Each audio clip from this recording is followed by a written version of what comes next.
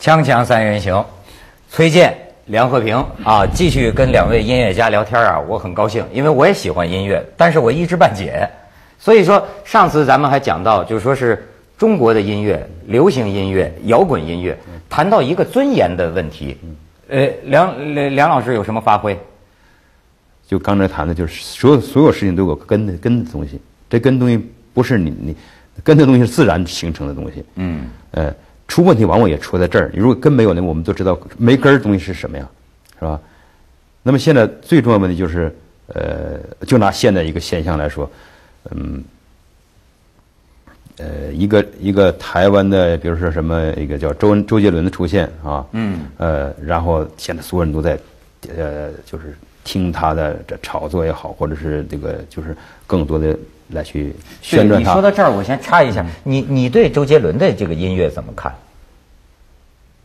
我觉得本身从为从一个这个同时做音乐的人的话，两边互相评论，我觉得就特别是在媒体上评论，我觉得就不太方便。我觉得就是就容易 就是被就是被炒作，对这种东西是不公平的。我觉得，我觉得两个做音乐的人恐恐怕两个人都特别简单，哪怕他说我互相不喜欢，也是非常简单的不喜欢，没必要去被利用、被炒作。嗯嗯嗯。所以这个我觉我觉得这个东西都应该去就应该有责任的去谈论它。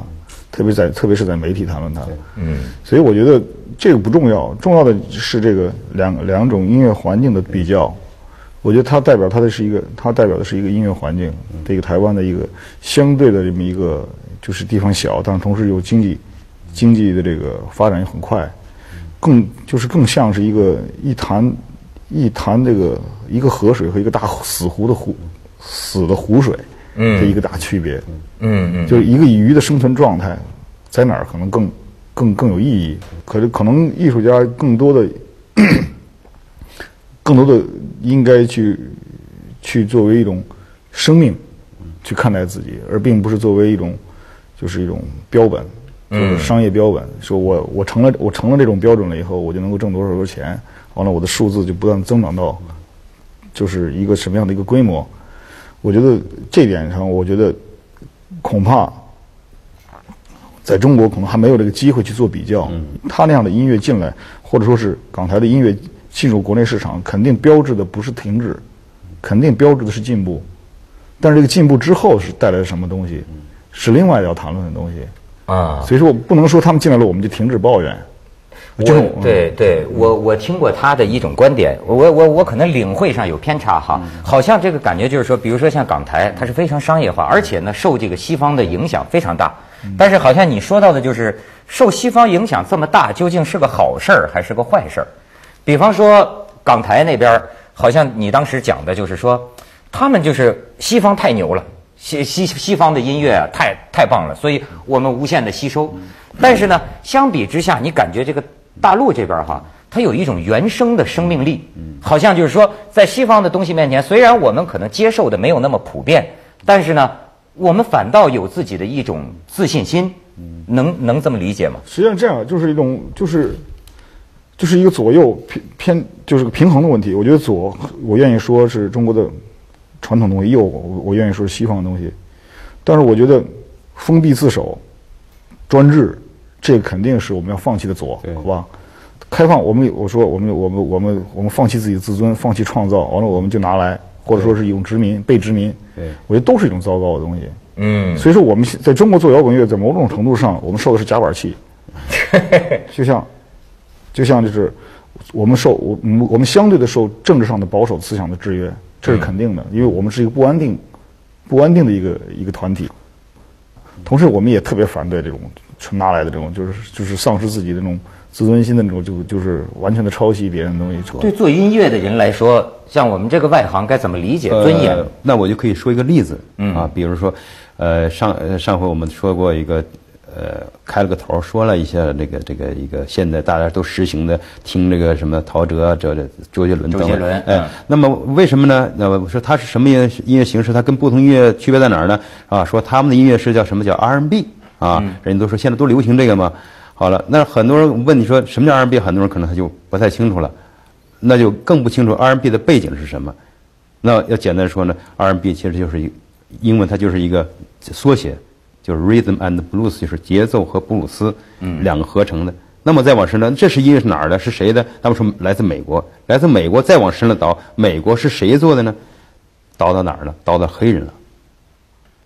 因为这个从黑人这里边可能就反观过我们，今天我们所有人都在做着各种调，把那词曲都拧巴着那种啊，唱着一种时髦的、时尚的。可是我们没有问这个时髦时尚的背后，我们损伤了我们什么东西？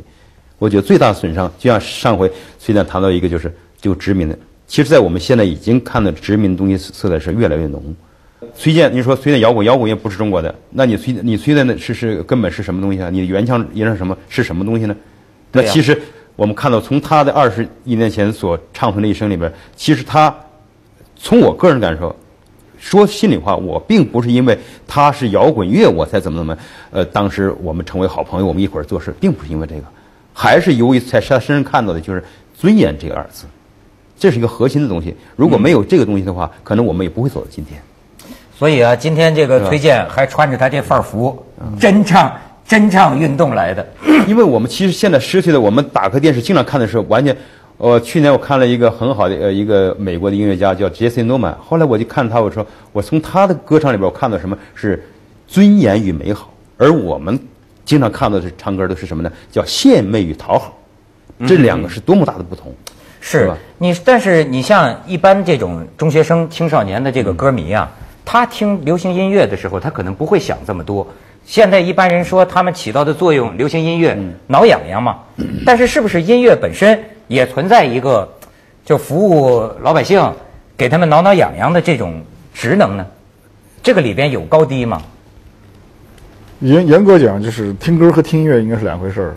嗯嗯嗯，听歌，我觉得听歌就像你学只 A B C D E F G，音音后边还有还有另外的，一直到二十六个字母。嗯嗯，我觉得这，我如果你要真的把这个英语都二十六个字母都掌握了，你才能开始学英语。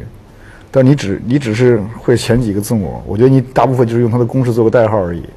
我觉得现我觉得现在中国人听音乐实际上就是在听歌，他们对他们就是在就是在在用四个字母来回来去组合。跟我们一样，就属于音乐素养水平比较低的阶段。因为你刚才谈论的是年轻人，我觉得恐恐怕在某种程度上，他们还还没有真正的去体会到音乐的那种真正的美、真正的魅力，就是这这种丰富性，这种是二二七个字母以后有那么多字母组合了各种各样的可能性，说这个遗憾。也可以说是我们是我们的这我们没有做出来让大家去真正接受。我觉得还有一种遗憾，就是也许我们做到了，你们也不也不接受，也不听。对呀，就跟人，也许可能就跟说这世界不需要厨师了吧？因为有快餐了。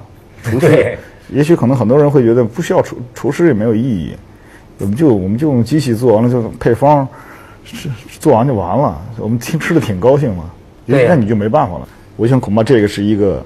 双重的遗憾，我更愿意说，如果我们把东西都给你放在旁边了，然后你们自己不去选，那就是你们的问题。那比如说，咱就说这个真唱运动，在这个真唱运动这一段时间的过程中，你觉得有什么难受，让你觉得不舒服的地方吗？我觉得这是一个电视的一个电视一个行业在扼杀才华，这个扼杀才华。对，我觉得电电视这个行业在扼杀音乐才华，他们在他们在。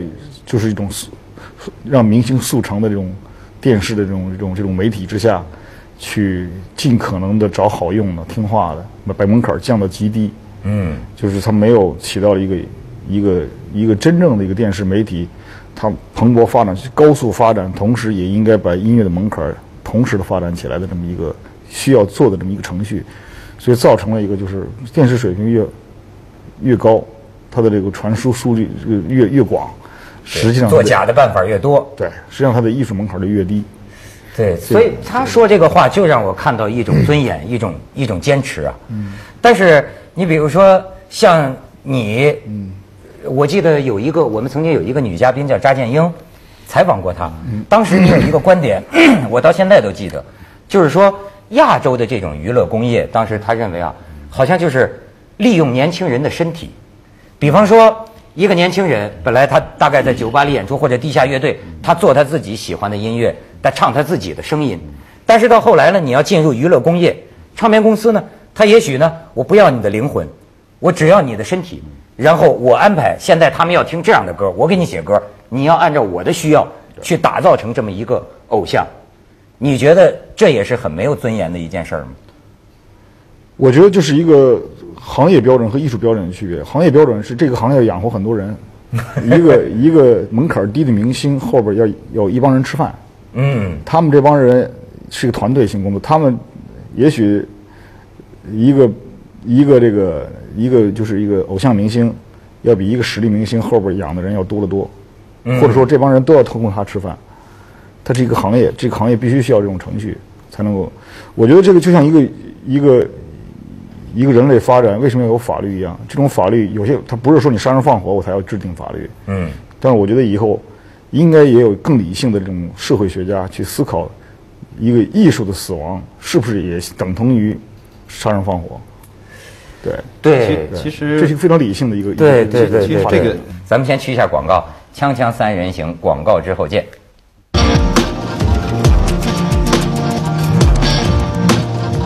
色、黄色和蓝色，分别代表人的心、身体和智慧。如今的三个颜色，统统被泥土盖了起来，就像眼前这个社会大酱缸。让我们要要思考的问题你觉得是为什么？我们说的什么？刚才说的好多音乐形式，什么 hip hop，什么这些摇滚，倒到根儿都倒到黑人去了。嗯，是吧？布鲁斯这些都都是黑黑人的，黑人又是被奴，别忘了他是被奴役的。这就是他本来是被奴役到美洲大陆，但是他们怎么能让今天白人所有东西都被他们音乐所征服呢？就是因为不管他们怎么样，怎么样，你认为我落后，我怎么样被奴役，我没有我的人生价值，但是我的尊严在我这个尊严体现在什么呢？在体现他们一旦表现出来他们的根性的那个艺术上，就是他们的音乐上，他们绝对任何人你你你消灭不了他。最后你发现这是一个很大的一个讽刺。是吧？今天倒的根儿都倒到黑人去了，结果他一个一个奴隶，他的这样一个民族，就是他们还守着他们尊严。如果他们没有这尊严，他们怎么能会做出让白人都不得不低头的音乐呢？这真是被我们那我们的音根儿在哪儿呢？我们说泱泱大国，又说这个说那个的，说我们这个东西，我们尊严体现在哪儿呢？现在我说我们过去，我说那个那那个年代政治也好，现在商业也好，我说就抽了筋割了脉了，是不是？现在就整个现在整个就是一个一个没有没有没有尊严的。所有东西都都给割去了，是不是？有我们就是这个国家型，就是个 copy 大国吗？是不是？就是一个所有从各个方方面，就是他他的尊严在哪儿？是吧？一说原创的啊，对不起，那都不是，都不是我们这儿，是不是？我们能永远是这样吗？是吧？都所以这个东西就是现在其实是一个一个很大的。有的时候想起来啊，也真是觉得又悲观吧，又有点丢人。就是说，真是说你中国民族在音乐上有什么自己的独创哈？这个，但是。现在这种娱乐工业的发展呢，我觉得直接就会更进一步的扼杀你所说的这种真正原创艺术。呃，所谓娱乐也好，商业其实这个商业其实我听说，其实商业是有两个完全不同的概念，一个是主动商业，一个是被动商业。嗯，被动商业就是那种永远是没有自己原创性，因为盯着别人在做了什么，然后跟随其后的商业，呃。这是一种商业，还有一种是叫所谓主动商业，他没有想商业的商业。比如崔健作为现在音乐中国的音乐家，他当然不能跟某些那种拿着一首歌唱很多那种明星不能比，但是在比很多音乐家，他还是有很大的商业性。对呀。那么反问他，当初他是为了就是事先设设计好了一个我就是要成为一个商业这样意图来去做音乐的人吗？他并不是这样，是由于我经常说，包括我还有一个朋友，比如说叫叫周国平，他原来八十年代出过一个小册子叫。尼采在世界的转折，这小册子当时影了很影响很多人，再完了无数次。那你说这本书是商业不是商业？他卖了那么多册子就已经证明商业了。但是他写的时候是为了商业吗？他全不是。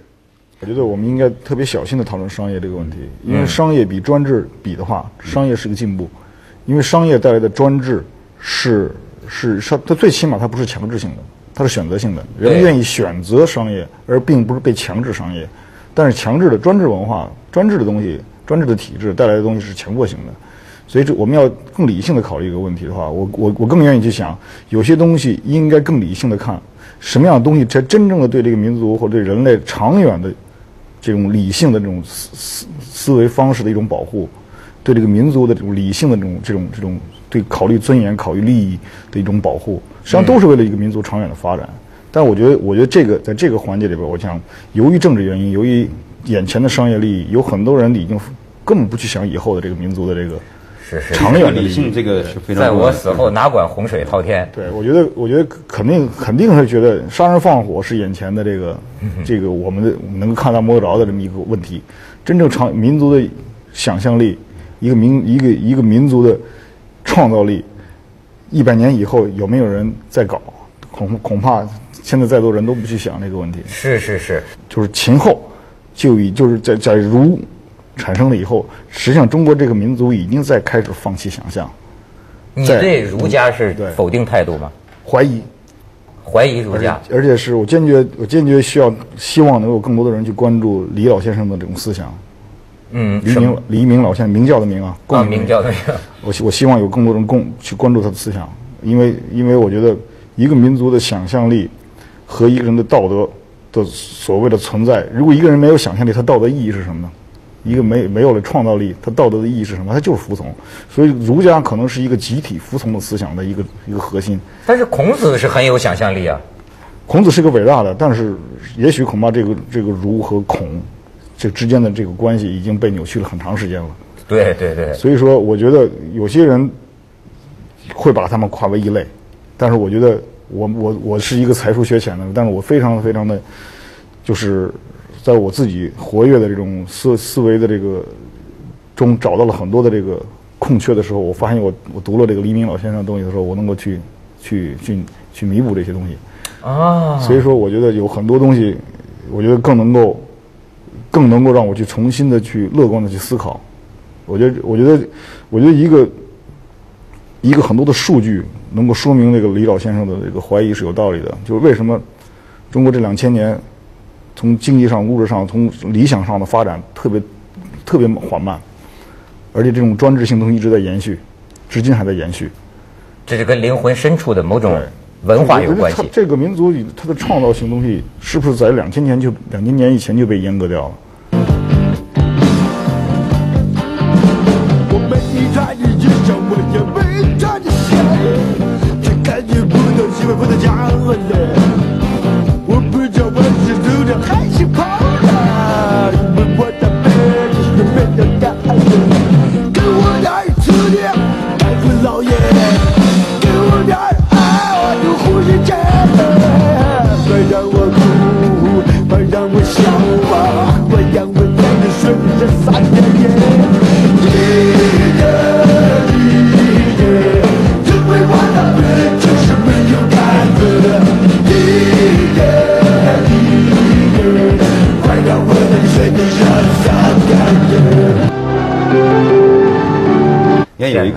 太惨了我我我最我这一个朋友是 从深圳一个画画画画的，他的女朋友是深圳的一个精神病院的一个护士，然后讲了好多一些数字，也讲了好多，就是现在这些年在深圳患有神经性的病的人，还有像那个抑郁症等等的，是很多的。往往最后统计下数字，居然是什么呢？都是富人占了百分之七八十甚至八九十。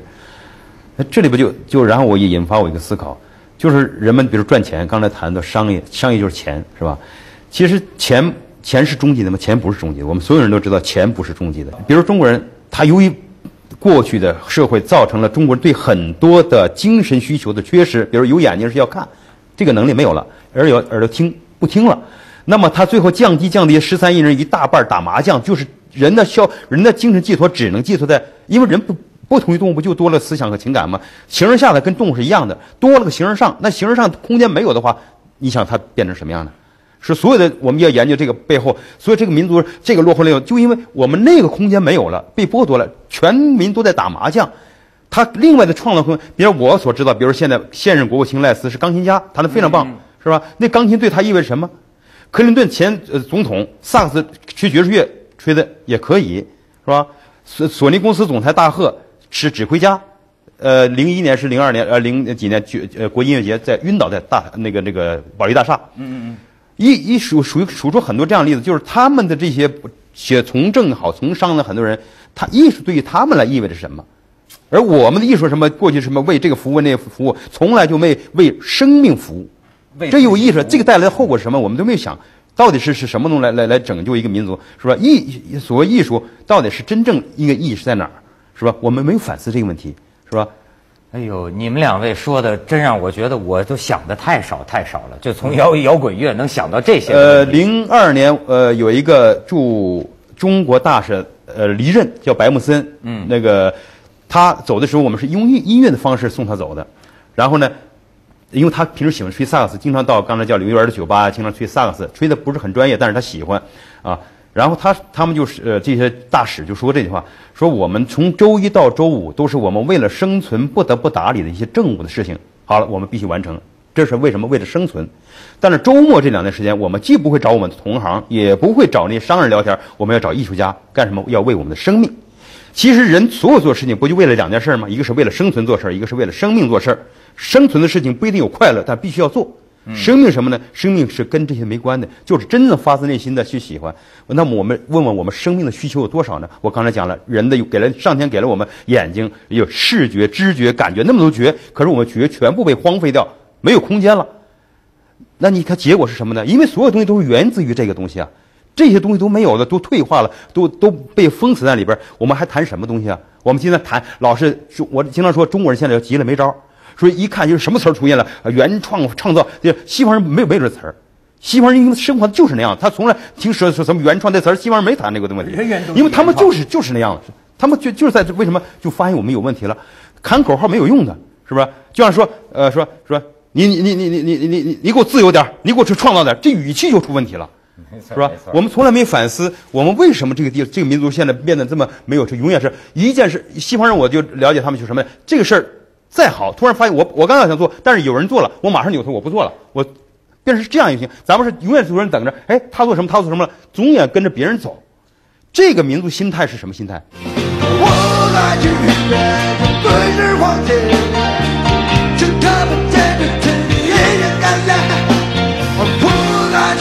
我要喝点水，和你的，我不能。忍住了，因为我对身体也应该哭。